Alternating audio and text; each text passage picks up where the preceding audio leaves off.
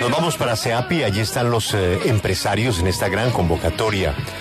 Son los grupos familiares más importantes de Iberoamérica. De Colombia están las cabezas familiares de muchos de nuestros grupos y se están reuniendo con los grandes empresarios. Creo que vamos al sector energético y qué oportuno, Alba Lucía, cómo se está viendo Colombia con esta transición energética. ¿Dónde se encuentra Alba Lucía? Buenos días, Julio. Exactamente me encuentro en el Museo Reina Sofía, en el auditorio, como usted bien dice, la edición número 6 de este Congreso Empresarial Iberoamericano. Me encuentro con uno de los empresarios más destacados de España, Julio, y como usted dice, del tema energético, mucho sabe él. Emiliano López Azurra es el presidente de Petronor, consejero de Repsol. Muy buenos días, muchísimas gracias, don Emiliano. ¿Cómo ve esa visión, eso que usted acaba de, de mencionar en la conferencia entre América Latina y Europa y con ese tema de la transición energética? Pues un escenario de oportunidades, porque la transición energética es equivalente a desarrollo industrial y un desarrollo industrial tiene que ver con formación profesional, capacitación tecnológica e innovación tecnológica.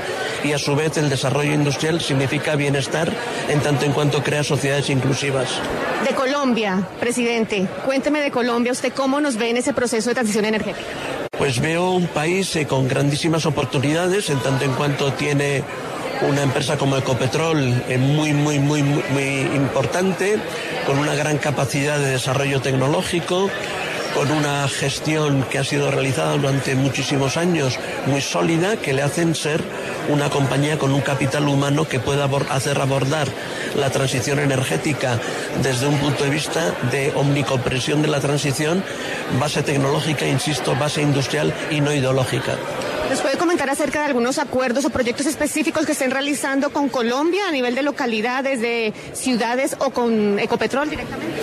No, con Ecopetrol nosotros hemos tenido como Petronor una colaboración eh, importante en tanto en cuanto ellos han venido, nosotros les hemos explicado todos los desarrollos de los nuevos combustibles eh, líquidos, les hemos hablado del hidrógeno, les hemos planteado nuestra base tecnológica e industrial y a partir de ahí lo que ha habido es una gran relación cuando Felipe Bayón estaba de consejero delegado.